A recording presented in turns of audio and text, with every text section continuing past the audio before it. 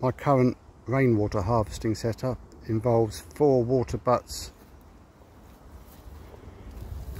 They're freestanding.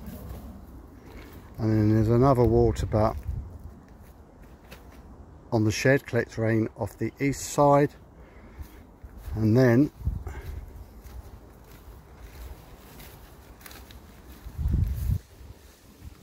and there's another water butt collecting rain off the west side however there are that one there? 1000 litres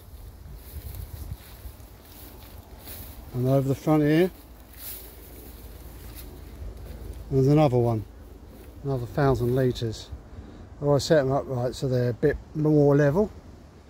And then they can go with my um, that is my rainwater harvesting setup now.